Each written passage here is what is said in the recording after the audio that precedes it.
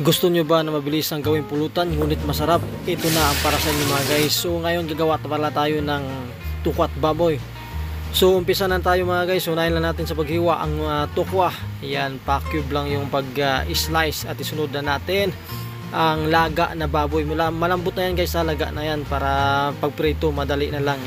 Alright, tapos natin hiwain. So ngayon unahin lang natin sa pagprito ang pork. Uh, after 1 minute, ilagay na rin ang ano, tukwa. Yan, hayaan lang yan guys mag-crispy. So ngayon, habang pinapag-crispy natin yung mga yan, maghiwa muna tayo ng mga gulay. Okay, mag-chop lang tayo ng onion at saka sili sigang. Yan eh, chop, chop slice lang yan ha. Yan, mince lang. Tapos gagawa na rin tayo ng sasawan, tuyo at suka.